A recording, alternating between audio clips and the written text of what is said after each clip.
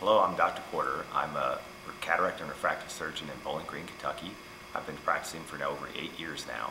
I've done close to eight to 10,000 cataract surgeries and refractive surgeries, including LASIK, uh, in Bowling Green, Kentucky.